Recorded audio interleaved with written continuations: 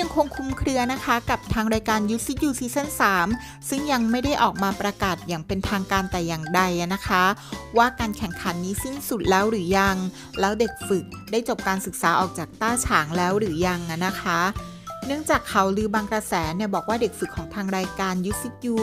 ได้ทยอยกันออกเดินทางออกจากต้าฉางแล้ว และข่าวลือก็ยังระบุอีกว่า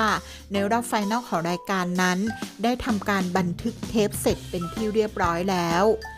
ซึ่งถ้าเป็นแบบนั้นจริง ๆ ตามข่าวลือนะคะแอดมินรู้สึกว่า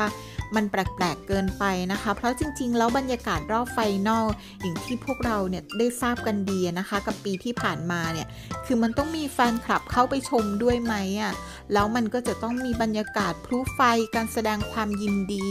ด้วยหรือเปล่าแต่ถ้ามีการบันทึกเทปเสร็จเป็นที่เรียบร้อยแล้ว แล้วรอเวลา on air เท่านั้น แอดมินยังนึกภาพเด็กฝึกไม่ออกจริงๆอะนะคะ เวลาที่เขาต้องขึ้นไปทำการแสดงบนเวที แล้วมองลงมาเห็นแต่ทีมงานของรายการนะนะคะ โดยที่ไม่มีแฟนคลับ ไม่มีบรรยากาศใด ๆ นะซึ่งสำหรับแอดมินนะแอดมินก็รู้สึกว่าค่อนข้างผิดหวังนะคะ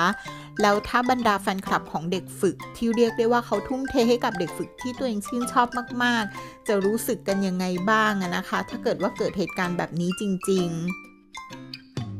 แต่ก็ยังมีข่าวลืออีกกระแสหนึ่งนะคะ ที่ปล่อยออกมาว่าจริง ๆ แล้วเด็กฝึกที่ออกจากต้าฉางเขาออกไปเพื่อเตรียมตัวในรอบไฟนอลซึ่งยังไม่มีการกำหนดว่าจะเกิดขึ้นวันไหน และยังบอกอีกว่าทางรายการ u f i t U Season 3ไม่ได้มีการบันทึกเทปใด ๆ ทั้งสิ้นนะนะคะ เป็นเพียงแค่การซ้อมใหญ่รอบ final ไว้เท่านั้น แต่การสังเกตของแอดมินนะนะคะ แอดมินรู้สึกว่ารายการนี้สิ้นสุดลงแล้วหรือเปล่า เพราะว่าเด็กฝึกแต่ละคนที่เขาทยอยออกจากต้าฉางไปนะคะ กับปฏิกิริยาของพวกเขาที่โค้งคำนับแล้วก็ขอบคุณแฟนคลับ เหมือนบ่งบอกว่าพวกเขาขอบคุณมากๆสำหรับตลอดระยะเวลาที่ผ่านมาหลายเดือน ไม่ว่าจะเป็นพี่เหลียงเซินของเราอะนะคะ ที่เขาก็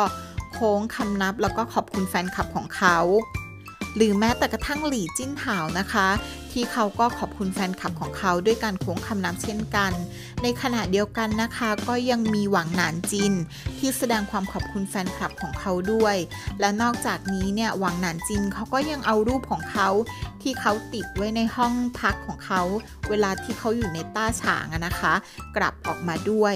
แล้วก็ยังมีคุณชายตู้ของเรานะคะ ตู้เทียนอี้เนี่ย ที่มาเดินแจกครีมบำรุงตาของ Estée ให้กับแฟนคลับ อยู่บริเวณนอกต้าฉางด้วยนะคะ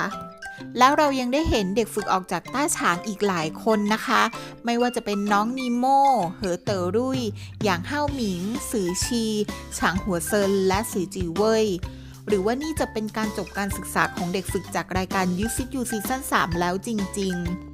แต่ยังไงก็ตามนะคะเพื่อนๆ เราก็ยังคงต้องรอติดตามการประกาศจากทางรายการอย่างเป็นทางการต่อไปนะคะ ว่าจะมีการ on air รอบ final หรือว่าจะมีการไลฟ์สดรอบ final วันไหน